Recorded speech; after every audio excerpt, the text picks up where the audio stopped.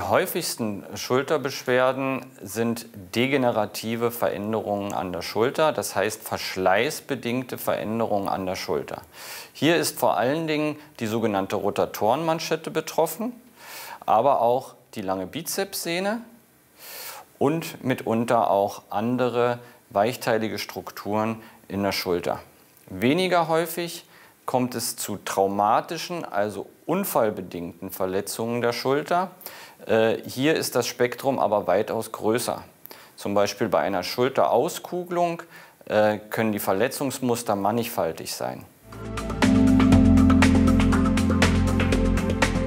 Bei der Behandlung von Schulterbeschwerden setzt man bei den degenerativen Erkrankungen vor allen Dingen auf konservative Mittel, das heißt physiotherapeutische Mittel, medikamentöse Mittel.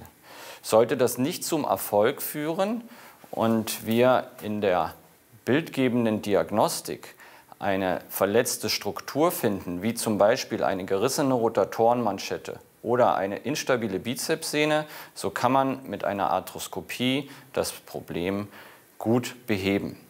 Bei den traumatischen Verletzungen, das heißt die unfallbedingten Verletzungen der Schulter, muss man hier wesentlich schneller genau hingucken. Denn wenn man hier den Zeitpunkt der Reparatur verpasst, können auch langfristige Folgeschäden drohen. Die Heilungsaussichten insgesamt bei Schulterbeschwerden sind gut. Man muss hier aber unterscheiden.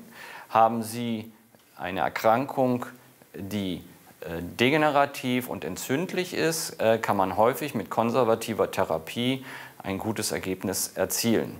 Haben Sie aber einen echten Strukturschaden, wie zum Beispiel einen Sehnenriss, äh, dann ist eine arthroskopische Operation häufig notwendig, um ein gutes Ergebnis für Sie zu erzielen.